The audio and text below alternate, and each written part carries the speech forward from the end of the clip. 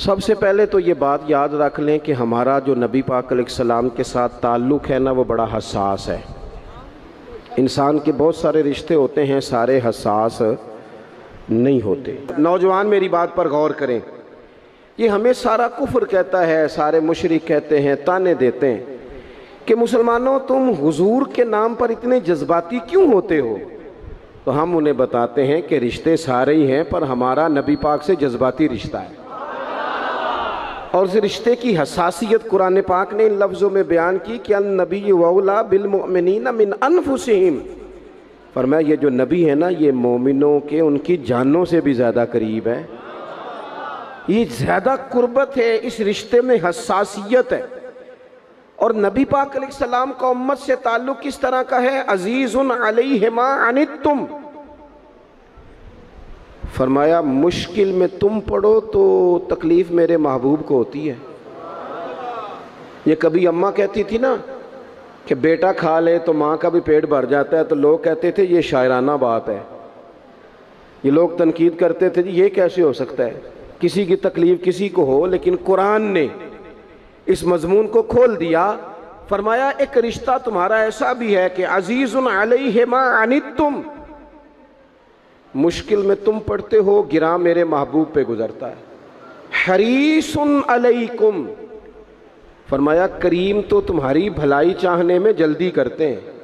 اب المومنین روف الرحیم، وہ مومنوں پہ روف بھی ہیں اور رحیم بھی ہیں۔ نوجوانوں، غور سے سننا میری بات۔ آپ کو نا اس مضمون کی درجنوں حدیثیں ملیں گی، کتب احادیث میں۔ درجنوں۔ حضور فرماتے ہیں، میرا جی چاہتا تھا۔ جب کسی کو، کسی کام کو میرا اور آپ کا جی چاہتا ہے تو پھر ہم پرواہ نہیں کرتے، من کی مرضی پوری کرتے ہیں۔ صحیح کہہ رہا ہوں؟ یعنی میرا جی چاہتا ہے تو پھر میں وہ کام چھوڑ جاؤں؟ حضور فرمانے لگے، میرا جی چاہتا تھا۔ ہر وضو کے ساتھ مسواک ضروری قرار دے دوں جی چاہتا تھا۔ لیکن تمہیں تکلیف ہوگی، لہٰذا میں اسے ضروری قرار نہیں دیتا۔ فرمانے لگے، میرا جی چاہتا تھا۔ کہ میں دیر سے شاہ کی نماز پڑھاؤں، لیکن اس لیے نہیں پڑھاتا کہ تمہیں تکلیف ہوگی۔ پھر فرمایا، میرا جی چاہتا تھا کہ میں اپنی پوری امت پر تہجد کی نماز ضروری قرار دے دوں۔ پھر حضور قرار کیوں نہیں دی؟ تو بات کا مفہوم یہ بنتا ہے کہ حضور فرمانے لگے، میں نے اپنی چاہت نہیں دیکھی، تمہاری نیند دیکھی ہے۔ تمہیں تکلیف ہوگی۔ حضرت سیدہ عائشہ صدیقہ فرماتی ہیں، صحیح حدیث میں موجود ہے۔ فرماتی ہیں، حضور کو امت کے حق میں دو باتوں کا اختیار دیا جاتا نا۔ کہ یا رسول اللہ، یہ والی چیز آپ کی امت پہ ضروری کر دی جائے یا یہ والی۔ تو سیدہ فرماتی ہیں، جو چیز زیادہ آسان ہوتی، حضور امت کے حق میں اسے اختیار کرتے۔ امت پر مشکل نہ آئے، حساسیت۔ امت کے حق میں نبی پاک کے دل میں حساسیت۔ یہاں تک بات آ گئی کہ حضور فرماتے ہیں، میں امامت کر رہا ہوتا ہوں، دل کرتا ہے، لمبی نماز پڑھاؤں۔ نماز کس کی عبادت ہے؟ دل کرتا ہے، لمبی پڑھاؤں۔ لیکن فرمایا، پھر کسی بچے کے پیچھے سے رونے کی آواز آتی۔ میں نماز مختصر کر دیتا ہوں کہ اس کی ماں نماز میں شامل ہے، یا گھر میں سے کوئی شامل ہے تو تکلیف نہ ہو۔ حضور ہر جگہ امت کے حق میں نرمی کرتے، آسانی پیار کرتے۔ امت کی بات آتی، حضور نے جب لشکر روانہ کیے، قافلے بھیجے جہاد کے لیے یا کچھ لوگوں کو بعض صوبوں پر بطور گورنر تعینات فرمایا، تو فرمایا، لوگوں کو خوشخبریاں دینا، لوگوں کو خوشخبریاں دینا، پریشان نہ کرنا، لوگوں پر آسانی کرنا، انہیں مشکل میں نہ ڈالنا۔ حضور امت پر آسانی کرتے کیوں؟ اس رشتے میں حساسیت ہے۔ جب قرآن مجید کی وہ آیات نازل ہوئی نا، جن میں سخت احکامات ہیں، تو محبوب کئی دن روتے رہے۔ اپنی امت کی اس تکلیف میں کہ یہ دوزخ میں جائیں گے۔ کئی دن تک حضور نے آنسو بہائے، سارا کچھ جاننے والے رب نے پیغام بھیجا۔ حضرت جبریل حاضر بارگاہ ہوئے، یا رسول اللہ، رب فرماتا ہے، پریشان کیوں ہیں؟ کہا، اللہ نے سخت حکم دے دیا ہے، امت کمزور ہے، کیسا پورا کرے گی؟ اللہ کرے آپ کی پوری توجہ ہو جائے میری بات پر۔ آمین تو کہہ دیں۔ آمین تو کہہ دیں، یار۔ اللہ کرے آپ پورے جاگ جائیں۔ اور میری بات آپ غور سے سنیں، توجہ کریں۔ عزیز بھائی، اس پر غور کرو۔ اس حساسی، آج امت کو کہا جائے نا، تو داڑھی شریف رکھ لے۔ اس میں حساسیت ہی نہیں آتی۔ وہ کہتے ہیں، پیر صاحب، آپ دعا کریں۔ تو میں کہتا ہوں، جب آپ تنخواہ لینے گئے تھے، تب تو نہیں دعا کرا کے گئے تھے۔ اس وقت بھی کہنا تھا مشکل ہو رہا ہے بینک تک جانا، تو میں تو نہیں جا سکتا، دعا کر دیں۔ جب آپ مال حاصل کر رہے تھے کسی جگہ تھے، وہ تو بڑی آسانی سے آپ نے لے لیا۔ اور داڑھی کے لیے پہلے آپ کو وظیفہ دیا جائے، دعائیں کی جائیں، آپ کے لیے چلہ کیا جائے۔ پھر آپ سنت شریعت کی طرف آئیں گے۔ حساس رشتہ، رسول کائنات آنسو بہا رہے ہیں۔ کس طرح یہ امت حساب دے گی؟ اللہ کے حضور کیسے؟ بڑی کاہلی ہے ہمارے اندر، بڑی سستی ہے، ہم بڑی آزمائشوں میں۔ حضور جانتے ہیں، جب محبوب کئی دنوں تک روئے، اللہ کرے، امتی بھی کبھی کبھی حضور کی یاد میں روئے۔ ایک تو یہ ہماری محفلیں ہیں نا، جن میں مجبور کر دیتا ہے، خطیب وائز نعت خان تو مجبوراً بھی سبحان اللہ کہنی پڑتی ہے۔ کاش کبھی گھر میں بیٹھے بیٹھے بھی دل کرے۔ اور ہم کسی نعت خان کے دروازے پہ اسپیشل جا کے دستک دیں اور اسے کہیں دل بڑا پریشان ہے، مدینے والے کی کوئی نعت تو سنا۔ کبھی ایسا بھی ہونا کہ گھر میں پیسے نہ ملنے پہ تو ٹینشن ہوتی ہے اور کوئی مقدمہ آ جائے تو پریشانی ہوتی ہے، لڑائی ہو جائے تو ہوتی ہے۔ کبھی یوں بھی تو ہونا، رات کو ابا جی رو رہے ہوں بستر پہ اور بڑا رو رہے ہوں اور تڑپ کے رو رہے ہوں۔ بچے آ کے اماں سے پوچھیں کیا مسئلہ ہے ہمارے ابا کو؟ کوئی پریشانی ہے؟ کوئی ڈاکٹر کو بلائیں؟ کوئی دکھ ہے؟ اماں کہتی ہے، جاؤ، تمہارے والی بات نہیں۔ بچے اصرار کر کے کہتے ہیں، نہیں اماں، بتا تو صحیح مسئلہ کیا ہے؟ تو اماں ٹھنڈی آہ بھر کے کہتی ہے، پتر، تمہارے باپ کو نا نبی پاک کا مدینہ یاد آتا ہے۔ جنوں ویخ کے ٹھردیاں کھیاں نے تو جنوں ویخ کے ٹھردہ سینہ ہے، ربا تیری ساری خدائی چ ایک کی تے شہر مدینہ ہے۔ پیسے جتنے آگے جی نہیں بڑے نے انہا سٹی ہو تو اڈی مہربانی۔ اسی کڈی سمجھدار قوم ہاں، پہلے آپ ہی کھلاری دینے پھر آپ ہی کٹھی کری دینے کیسی بات ہے۔ غوث پاک کی محفل میں لوگ بندے گنتے تھے، توبہ کس کس نے کی؟ ہماری محفلوں میں لوگ نوٹ گنتے ہیں۔ اور اسپیشل بندے رکھے ہوئے نوٹ گننے کے لیے۔ بس کریں، یار چھوڑ دیں، بڑا ہو گیا یہ کام۔ ہماری، سنیں جی سنیں جی اللہ خوش رکھے۔ اللہ آپ کو خوش رکھے۔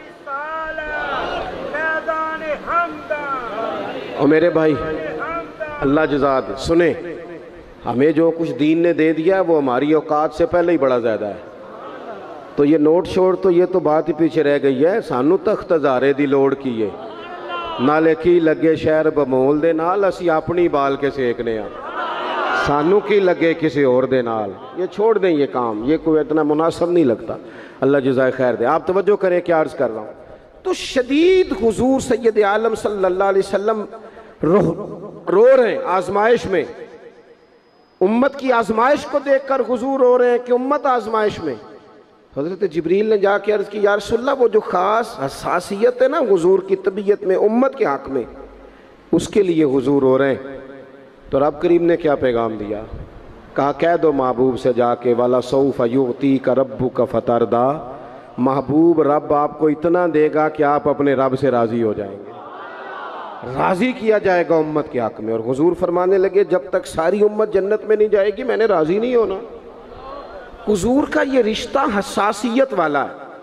اور چونکہ ہمارے پاس تو اب ہم بعض دفعہ لگتا ہے کہ زیادہ عالم ہو گئے لوگ۔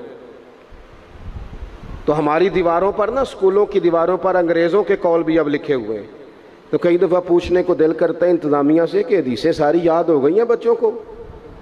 جو تمہیں اب کالوں کی ضرورت پڑ گئی وہ بھی غیروں کے۔ غیروں کے اقوال تک تم آ گئے ہو۔ اس قوم کو تم نے حضور کے فرامین سارے سنا لیے۔ او خدا کے بندو، حضور نے تو اتنا حساس کر کے یہ رشتہ بتایا ہے کہ باریک باریک نقطے بھی سمجھائے۔ یہ کام نہ کرنا دوزخ میں چلے جاؤ۔ یہ کام کرنا تمہارا فائدہ۔ ایک ایک بات کھول کے بیان کی۔ امت کے پاس ٹائم ہی نہیں ہے حدیثیں پڑھنے کا۔ وقت ہی نہیں ہے۔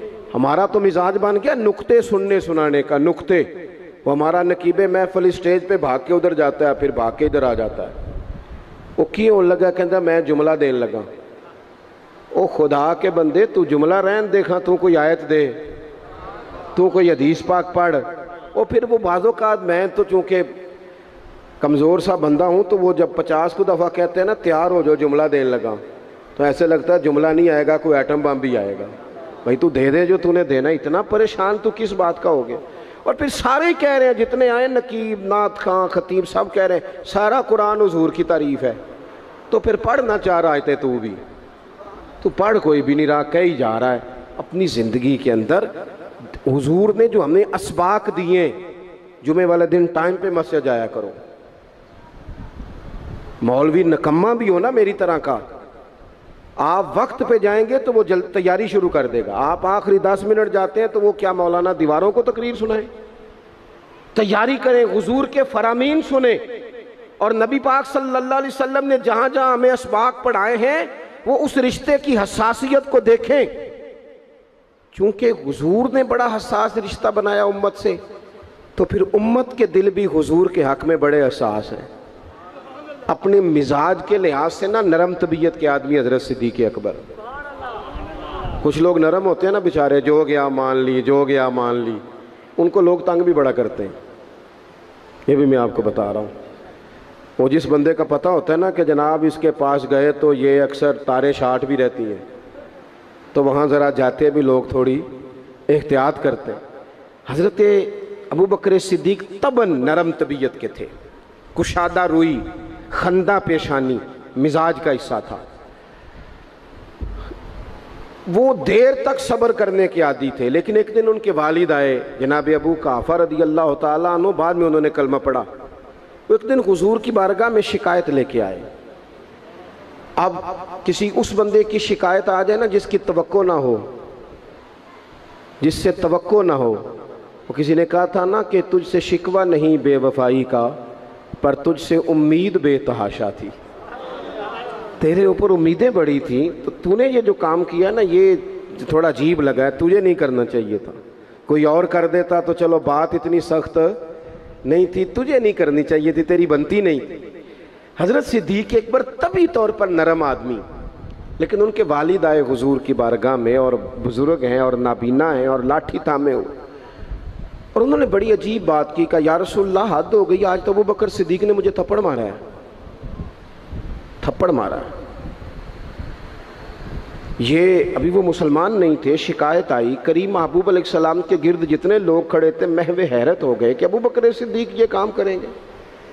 حضور نے فرمایا، بلاؤ نا جناب صدیق کو، حاضر بارگاہ ہو گئے، ہاتھ باندھے، نظر جھکائی ہے۔ حضور نے فرمایا ابو بکر لوگوں کو تو یقین ہی نہیں آ رہا، تم نے تھپڑ مارا باپ کو؟ خاموش کھڑے، خاموش۔ کریم نے فرمایا، ابو بکر، سن رہے ہو، میں نے کیا کہا؟ باپ کو مارا ہے۔ چپ کھڑے۔ تیسری دفعہ حضور نے فرمایا، بولتے کیوں نہیں؟ انہوں نے نا گردن اٹھائی۔ آنسو ٹپ ٹپ داڑھی پہ گر رہے۔ رو کے عرض کرنے لگے، یا رسول اللہ، باپ سے کہیں خنجر لے کے میرا گلا کاٹ دے، میں سی نہیں کروں گا۔ پر اس نے نا آج آپ کے بارے میں بات کی ہے۔ آپ کی شان اقدس کے بارے میں کچا جملہ بول رہا ہے۔ آپ کے بارے میں کمزور بات کی ہے۔ یا رسول اللہ، میں سارا کچھ سہ سکتا ہوں، پر آپ کا اور میرا رشتہ۔ حضور، آپ کی اور میری بات۔ تن تندور تے ہڈیاں بالن۔ اسی ہاں نال تپایا کپ کپ مکیاں پیڑے کیتے۔ اتوں عشق پلیتھن لایا تن دا سالن تے من دی ہانڈی۔ لون صبر دا پایا غلام فریدہ، میں ساری تیری۔ تین وجہ یقین نہیں آیا۔ فرمانے لگے، عرض کرنے لگے، یا رسول اللہ صلی اللہ علیہ وسلم، انہوں نے آپ کے بارے میں بات کی ہے۔ شکر کرے، میرے ہاتھ میں تلوار نہیں تھی۔ ورنہ میں باپ کا سر کاٹ دیتا۔ اس لیے کہ ہر چیز برداشت ہے۔ محبوب کی شان کے بارے میں کوئی بات کرے، یہ امت کو برداشت نہیں ہوتی۔ ہم یہ کیسے قبول کریں؟ کیسے اس بات کو قبول کریں؟ عزیز بھائی، اس رشتے میں حساسیت، آپ دیکھیں، صحابہ نہ اس حساسیت، اور صرف ناموس رسالت کے مسئلے میں نہیں، ہر مسئلے میں وہ حضور کے حق میں حساس تھے۔ ہمیں ہر مسئلے میں ہی حساس ہونا ہے۔ توجہ ہے آپ کی میری بات پہ؟ مجھے آپ کی گرمی کا بڑا سخت احساس ہے، اور جو لوگ بڑی تکلیف میں بیٹھے ہیں، یہ بھی مجھے اس بات کا بھی اندازہ ہے، میں کوئی بات لمبی نہیں کرنے والا، بات بڑی جلدی ختم کرنے لگا ہوں۔ اللہ کے محبوب جمعہ پڑھا رہے تھے۔ تو ایک آدمی کھڑے ہو گئے تو محبوب نے فرمایا بیٹھ جاؤ۔ نام نہیں لیا۔ حضرت انس بن مالک کہتے ایک بندہ دروازے کے باہر تھا، اس کے کانوں میں آواز گئی تو مسجد کے باہر ہی بیٹھ گئے۔ ایک کبھی پچھلی گلی میں تھے، ان کے کانوں میں آواز گئی، بیٹھ جاؤ تو وہ وہیں بیٹھ گئے۔ جس نے جہاں سنا نہ بیٹھ جاؤ، وہ وہیں محبوب نے جمعے کی تکمیل کے بعد پوچھا، تم کہاں تھے؟ تم کہاں تھے؟ تم کہاں تھے؟ یا رسول اللہ، آپ نے کہا تھا بیٹھ جاؤ۔ آپ نے کہا تھا بیٹھ جاؤ۔ تو میں بیٹھ گیا۔ محبوب علیہ السلام والسلام مسکرا کے فرمانے لگے، تمہیں کب کہا تھا؟ تمہیں کب کہا تھا؟ تمہیں، میں نے تو اسے کہا تھا۔ کہ یا رسول اللہ اپنے نام تو نہیں نہ لیا۔ سانو تے قید سجن دا گہنا ہے تے وہ جنج رکھے اونج رہنا ہے اور ہم نے نہ کبھی قطرے پہ غور کیا اور نہ دریا دیکھا بس جہاں تیری جھلک دیکھی وہیں ڈوب گئے سانو تے قید سجن دا گہنا ہے وہ جنج رکھے اس نے کہا بیٹھ جاؤ تو چپ کر کے بیٹھ گئے بات ختم ہو گئی محبوب پاک نے فرمایا دیکھو نا حضور نماز پڑھا رہے تھے تو دوران نماز خیال آیا کہ یا اللہ قبلہ بدل جائے نا۔ اور وہ قبلہ ایسے نہیں تھا کہ ادھر ادھر کو کر لیں آپ مسجد قبلہ تین جائیں، منہ اس طرف تھا اور کرنا تھا اس طرف۔ تو محبوب نے دو رکھتے ادھر منہ کر کے پڑھائیں یہ رشتہ حساس ہے نا، اس میں بحث نہیں۔ وہ شریعت کا جب کوئی حکم آئے تو پھر اس میں بحث کیسے مومن کہہ لیتا ہے کہ میں نے ٹھہر کے داڑھی رکھنی ہے؟ یہ کیسے کہہ لیتا ہے کہ میں نے شریعت پہ عمل ذرا ٹھہر کے کرنا ہے؟ ذرا یہ تو کیسے کہہ لیتا تجھے حضور کا پیغام مل گیا اور تو ابھی تک کہہ رہا ہے ذرا ٹھہر کے، یہ کیسے ہو گیا؟ یہ تو نے سوچ کیسے لیا؟ اتنا حساس اماں بات کہے نا، اماں پتر دو دفعہ توجہ نہ کرے تو اماں کہتی ہے، تو میری بھی نہیں سنتا۔ چار دفعہ پیر صاحب کو کہنا پڑے تو حضرت شیخ بگڑ جاتے ہیں کہتے جا دوڑ جا۔ اتنی دفعہ کہا تو سنتا ہی نہیں۔ میری طرح کا چھوٹا مولوی جو سویرے علی بات تاسا پڑھائے، اس کا بچہ سبق پڑھتے منہ ادھر کر لے تو تھپڑ مار دیتا ہے، کہتا ہے گھر میں تینوں سبق پہ پڑھانا، تکنا کدھر ہے؟ اور یہاں امت کا یہ حال ہے کہ وہ حضور کا پیغام بھی توجہ سے نہ سنے۔ وہ شریعت اسلامیہ کی بات پر بھی غور نہ کرے اور دین پر عمل کرنے میں کہ ٹھہر کے، ذرا ٹھہر کے، ذرا ٹھہر کے۔ سود حرام ہے۔ وہ کل بھی حرام تھا، آج بھی حرام ہے اور قیامت تک حرام ہے۔ بی بی پر پردہ ضروری ہے۔ اگر کائنات کی سب سے اعلیٰ بیویوں نے پردہ کیا ہے تو ان بیویوں کے لیے بھی پردہ ضروری ہے۔ اور اگر نابینا سے آبی آئیں اور نبی پاک کہیں اپنی ازواج پاک سے کہ پردہ کرو، یا رسول اللہ وہ تو نابینا ہے، فرمایا تمہیں تو نظر آ رہا ہے نا۔ تو اگر جن کو قرآن ماں کہتے ہیں، ان کا پردہ ضروری ہے، تو پیر صاحب سے بھی عورت کا پردہ ضروری ہے۔ اس پیر سے کو تو شرم کر، تو حیا کر، شریعت کا پاس کر۔ یہ کیسے ہوگا کہ تو بے پردہ کے بیٹھ گیا عورتوں کے بیچ؟ کس طرح ہو گیا تو؟ کہاں سے وہ تم نے دین سیکھا؟ اس میں شریعت اسلامیہ کا ہی پاس نہیں آلہ حضرت بریلوی رحمت اللہ علیہ پیلی بھیت میں کسی نے دعوت دے لی، کوئی شیخ تھے، تشریف لے گئے، تو عورتوں کے بیچ بیٹھ کے بے پردہ تعویز بانٹ رہے تھے۔ فاضل بریل بھی واپس آ گئے۔ ان کو کسی نے کہا، وہ آپ کے مہمان تو جا رہے ہیں، تو وہ پیچھے سے دوڑے